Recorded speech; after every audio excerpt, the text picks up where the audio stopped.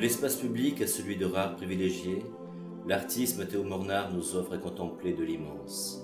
Ses dessins, ses sculptures, ses projets d'architecture grandioses emplissent un territoire qu'ils redéfinissent de leur propre vie, de leur générosité.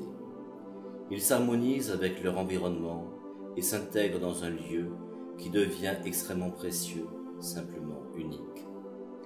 Car il est des temps suspendus, comme un temps amoureux, où la contemplation d'une œuvre interroge l'homme et le grandit de ce qu'il découvre. Mathéo Mornard suspend ses statues de femmes, toutes de féminité forte. Elles se tiennent sur une main ou sur un pied, ou même recroquevillées sur elles-mêmes, elles délivrent l'espace de leur rondeur, de leur regard caché.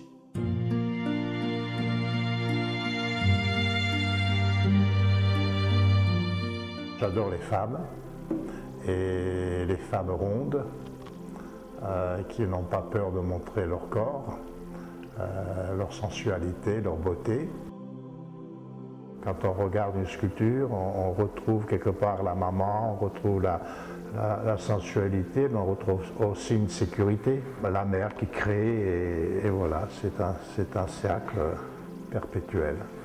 On se sent bien quand on regarde mes sculptures. C'est l'équilibre, c'est le, c'est la souplesse de la femme. La femme, peut être très forte, mais je ne sais pas si vous avez remarqué, les, meilleures danseuses, c'est les femmes qui sont un peu fortes, mais elles sont fières de, leur corps et elles sont toutes en légèreté. Elles, bougent, elles veulent. Il y a cette souplesse, il y a cette élégance, et c'est ce que j'essaie de créer.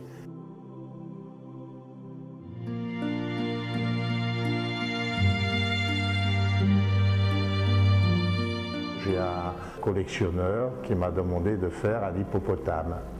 Alors j'ai commencé à faire les animaux et depuis j'ai des collectionneurs euh, en Suisse, à Dubaï, euh, aux États-Unis qui, qui veulent euh, mes animaux.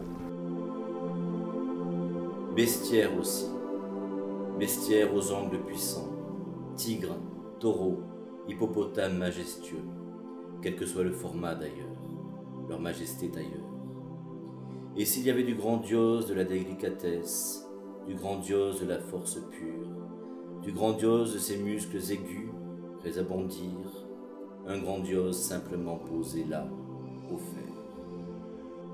C'est un hippopotame qui, qui, a pris pratiquement tout l'atelier chez moi. Il fait 4,50 m de long, il fait 2,50 m de haut. Et là, il, était fait en, plâtre au départ. Et après, on l'a réalisé en bronze. Et le bronze fait à peu près 2 tonnes. Il y en a à Genève, il y en a à Roquebrune, Cap-Martin. Et il y en aura bientôt un qui sera à New York.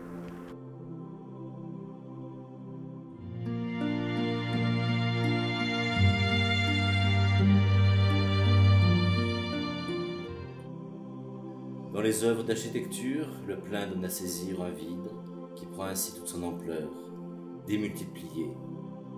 L'un donne à l'autre sa mesure, sa respiration.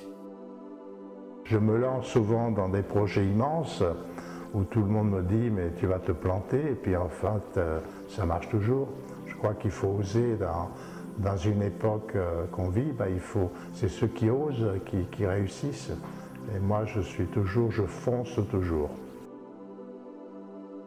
Je suis très croyant. Je fais euh, régulièrement une sculpture euh, en hommage à, ce qu'il y a de plus haut. J'ai voulu faire un mais un peu différent des autres qu'on voit.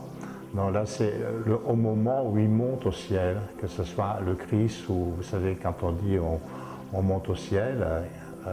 donc j'ai voulu créer ce moment précis, cette cette seconde où le corps, euh, à partir des, hanches et de la tête, commence à être élevé, soulevé, déformé. Donc c'est comme si on, par petits morceaux, on, on monte au ciel.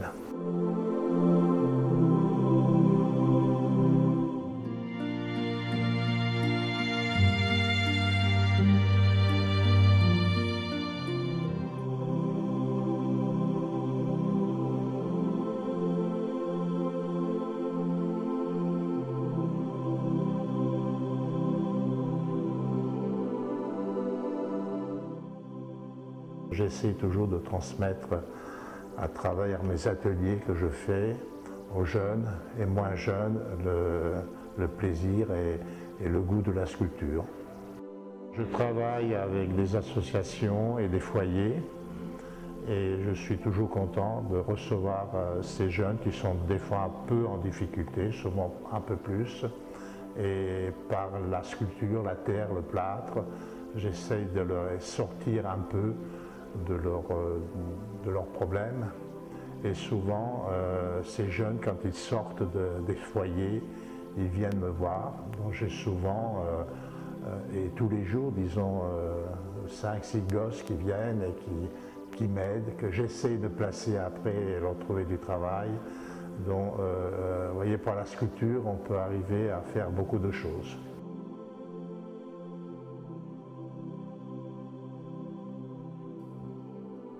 Mathéo Mornard vit de multiples dons. Ce qui demeure, c'est une présence forte, une grandeur d'être, reflétée par chaque statue, chaque dessin, chaque projet. Œuvre pour des mécènes qui vivraient à l'aune d'une nouvelle renaissance, prince de raffinement.